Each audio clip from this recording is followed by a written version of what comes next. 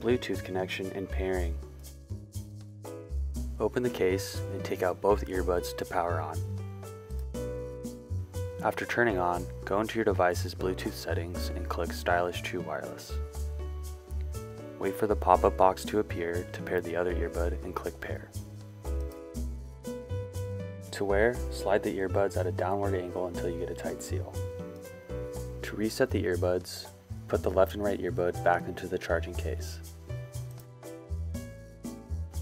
Then, press and hold the power buttons on the back of each earbud simultaneously for 5 seconds until the lights glow purple. Once purple, take out the left and right earbuds and press the power button 4 times at the same time. The earbuds are in pairing mode when one of the earbuds lights flash red and blue alternatively.